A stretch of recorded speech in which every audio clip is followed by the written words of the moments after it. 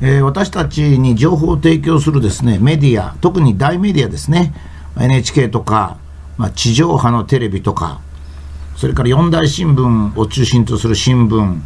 それからあ主要な週刊誌ですねこういった我々日本人に、まあ、本来ならば正しい情報を提供するべき、まあ、メディアがですね、まあ、大変に汚染されていると。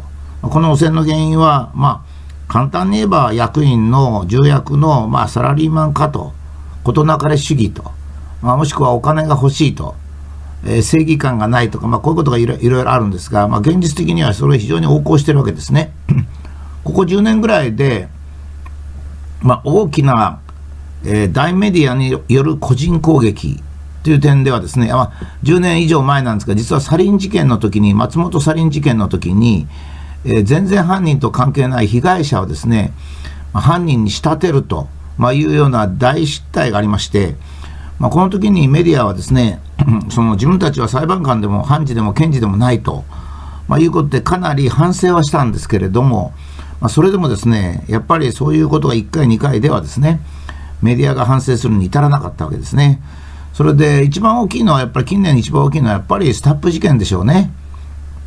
えスタップ事件がですね、まあ、経緯はもうお話しするまでもないことだと思いますが、スタップ事件でもしメディアが取り上げるならですね、小保方春子さんっていう30歳の女性を攻撃するんではなくて、えー、あのような派手な記者会見をした利権ですね、それから小保方さんをその指導監督する立場にあった山梨大学の方に教授で移った人とか、まあ、自殺した笹井さんはちょっとやっぱり自殺されただけでちょっとアウトサイダーだったわけですが、その他に、えー、無給研究員、つまり何の責任もない立場で、えー、雇用されていた時代の研究成果ですね。あの、まあ、発表した時はちゃんとしたリーダーだったんですけども、まあ、そういう時代のものをですね、あたかも小保勝さん一人の責任のように、まあ、個人攻撃に徹したと。あ特に NHK のようにですね、えー、事件が1月、あの、その発表が1月30日にあった時には、ものすごい大きく取り上げて、えー、っと、その時の7時のニュース、夕方の7時のニュース、私見てたんですけれども、えー、業績はものすごく持ち上げるわ、えー、関係者の有名なですね、その道の権威に、この発明は素晴らしいと、ノーベル賞級だというコメントを言わせ、かつ、彼女がドクターを取った早稲田大学の先生とか、まあ、同僚の学生がですね、ものすごい努力家だったというようなことを画面で繰り返し流したわけですね。あのくらい多くの映像を NHK が撮っておくということはですね、かなり前から、えーえー、内密に情報を得てですね、えかなりの取材をしてるはずなんですよ。ところが、それから1週間後ぐらいにですね、ネットを中心として、小保勝さんの論文に対する、まあ、小保勝さんの論文というのもおかしいんですけどね、あれ、ずいぶん多くの人が連名してるわけですから、むしろ責任者の教授とか、えー、研究者に焦点が合うはずなんですが、まあ、小保勝さんが攻めやすかったんでしょうね。それでやって、7月末の小保勝さんの避難番組をですね、1時間ぐらいやって、そこでは、小保勝さんがエスカレーターに乗って逃げるのを、エスカレーターの両側に屈強な男を置いて阻止したり、足を怪我、2週間の怪我をしましたね。それから、大勝さんを女子トイレに押し込めると。それで女子トイレの前に女性の NHK の人を監視に置いとくといったですね、まあそういった、まあ、まあ、人道上許されない取材を行ったわけですね。その後、まあ、笹井さんがその番組のが元に自殺するということまで起こりました。まあ、これ一番大きいですね。まあ、私事で恐縮なんですが、私があの原発事故の時ですね、えー、少なくとも法律は1年1ミリシーベルトが一般人の上限で、被爆上限であると、まあ、いうことを繰り返していたらですね、えー、これは週刊新潮ですが、1年1ミリシーベルト男武田邦彦っていうですね、4ページにわたる大々特集をやってですよ、私の社会的立場から言えば大特集ですよね。そこにはですね、1年1ミリシーベルトがいかに間違っているかということを、まあ、原子力関係者を、まあ、多数、まあ、10名以上でしたから出してですね、証言させると、まあ、いうようなことをやりましたね。しかし、まあ、この1年1ミリシーベルトについては NHK がですね1号機の爆発の直後にですね、えー、1時間ぐらいはですね一般人の被爆限度は1年1ミリだということを繰り返し放送しておりました。それはたまたま私がそのビデオを持ってましたので、えー、そのビデオをもとにえー、アナウンサーが言ってることを音声を文字に起こして私の本に書きましたが、えー、つまり1年1ミリシーベルトっていうのはあの1年1ミリシーベルト武田邦彦なんて書か大々的に個人攻撃を受けましたね。それはねおぼかすさんと NHK 武田邦彦と週刊新潮じゃ勝負にならないんですよ。あのですね正義を唱えればいいじゃないかなとそんなもんそんな生生優しい本じゃないんですよ。大メディアがですね一個人を攻撃するということはもう簡単に一個人の人生を潰してしまうことができるんですね。それでまあ私なんかはもちろんそれを機会に、まあ、テレビ出演なんかの回数はもう激減しました。もちろんあの使えません、どこもね。いかがわしい人だということで使えませんね。私はたまたま大学の先生だったんで、上に困るということはなかったんですけども、もしも私がテレビのコメンテーターを主たる仕事としてやってたらですね、まあ、危機に瀕するでしょうね。法律通り言ったのに危機に瀕する。最近のこの手の最もひどいものはですね、もっとひどくなってですね、えー、東京新聞の論説副主幹だった長谷川さんがですね、